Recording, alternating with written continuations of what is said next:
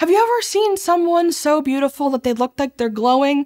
Surely it must be the result of some super expensive skincare routine and not because they I don't know, drink enough water? You could never hope to have any kind of radiance on your budget. Except you can. Because right now you are literally glowing with a special kind of light that only stops when you die. And maybe one day your doctor could track that glow to make sure you don't die sooner than you'd like to. Whether you're a human or a bacterium, you're basically a watery bag full of molecules and chemical reactions. And because of those reactions, you're also full of electrons that are getting excited and relaxing again, which releases particles of light called photons. Scientists call these biophotons to reflect the fact that they're made by living organisms. Biophotons are distinct from other ways life can produce a nice glow. If you dive into the ocean, you'll find bioluminescent bacteria, fish, and other creatures alight in bluish greenish colors. That light is also the result of chemical reactions, but unlike the ones behind biophotons, they depend on a class of enzymes called luciferase. We don't have luciferase in our bodies, so that's why you and I aren't out here making blue light at night. Meanwhile, literally everything, be it living, dead, or never alive, is glowing thanks to thermal radiation. That's because we are currently existing at a temperature above absolute zero, which means the particles that make us up are always moving at least a little bit. For humans and anything else around the same temperature as us, that movement mostly produces infrared light. You can't see it unless you have special glasses that can capture that light and translate it into something visible, but I promise you that it's always there. But while death can't stop your corpse from emitting invisible infrared light, it can stop you from emitting those visible wavelength biophotons. Exactly how soon after death has been a bit of a mystery until recently, and one reason why is revealed by its alternate name, ultra weak photon emission. Now, technically, the human eye is capable of detecting single high energy subatomic particles that randomly smack into our retinas. But generally, for our eyes to see anything, we need a light intensity around 1 million photons per square centimeter per second. Ultra weak photon emission is somewhere on the order of tens to hundreds of photons per square centimeter per second, which you'll notice is less than 1 million, but at visible wavelengths, it is the main way that you're glowing, assuming you are a non bioluminescent human.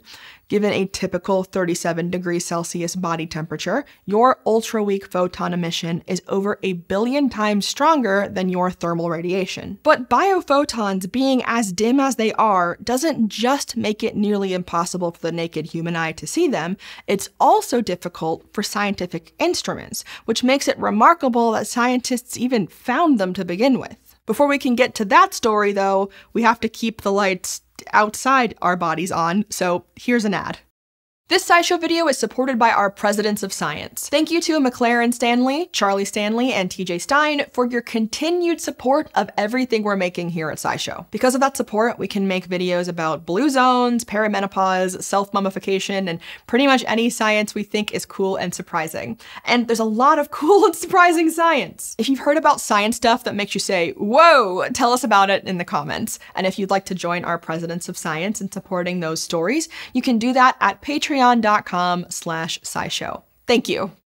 In the 1920s, a Russian scientist named Alexander Gurwitsch wanted to see if there was a way for cells to communicate without them touching or being able to send a chemical signal to each other. His experiment featured two onion roots, separated by either some quartz or an opaque material. When he saw that the cells in the roots separated by that see-through quartz divided more, he hypothesized that they were relying on some kind of electromagnetic radiation, aka light, to tell each other to divide. Since the process of cell division is called mitosis, he called this signal mitogenic radiation. At the time, it was difficult for other scientists to observe anything that might support Gurwitsch's idea. But as the decades progressed, we developed tools like the photomultiplier tube that could make weak signals strong enough to detect, and even cameras that could spot single photons. So we definitely know that biophotons exist now, but it still takes a bit of effort to study them. For example, according to a paper published in 2025,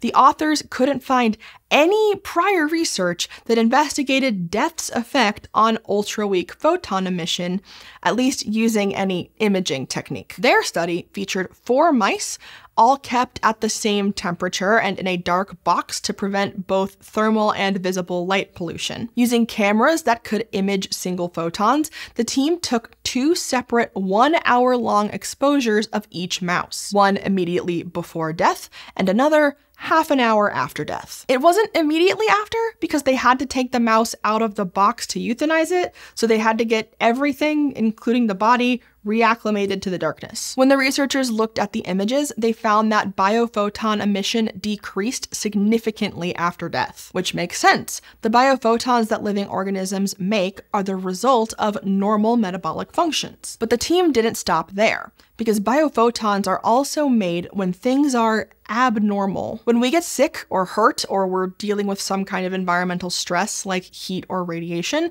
our body winds up producing molecules that tell our cells, things are looking rough, someone needs to start doing some damage control. These signaling molecules are called reactive oxygen species. As the name suggests, they have oxygen and they're reactive. And because they're reactive, you guessed it, they set off the production of more biophotons. This research team studied the influence of extra stress not on mice, but on plant leaves, specifically the species Heptapleurum arboricola. When they cut the leaves of the plant, they found that the plant produced more biophotons in the injured areas. Now, whether or not plants are using their biophotons as a type of communication is still unclear.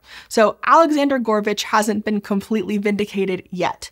But studies like this do show us a relatively novel way to visualize the stress that different organisms go through. Again, this isn't stress like, oh my god, I've got to book it across an airport terminal to avoid missing my connection, looking at you, Denver. It's my body has to fight off the virus it's caught from some rando who wasn't masking at said airport. For plants, this could include tracking infections in wheat or checking on the quality of organic eggs, which both sound incredibly specific as far as examples go, but that's because researchers have actually looked into those. And for humans, maybe one day scientists will develop a use for biophotons as a non-invasive way to monitor what's going on in your skin and maybe even under it. In recent years, several research teams have started investigating the effects that different diseases, from arthritis to diabetes to cancer, may have on ultra weak photon emission.